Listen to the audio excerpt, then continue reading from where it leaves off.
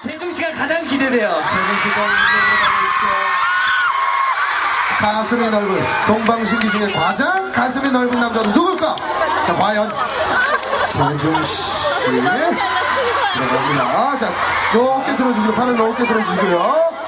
자, 여섯. 와. 어, 이거 큰일 났다.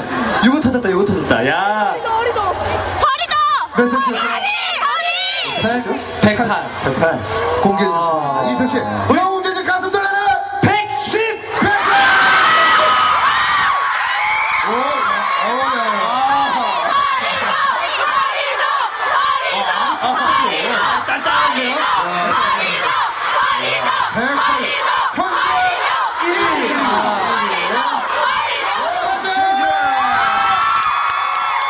이거 혹시 최고의 자켓 둘레아닐까요? 야,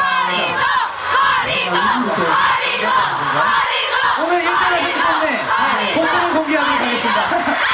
영웅재의 복근 공개로 마무리를 짓도록 좋습니다. 하겠습니다. 자, 시스템 보여줘야죠.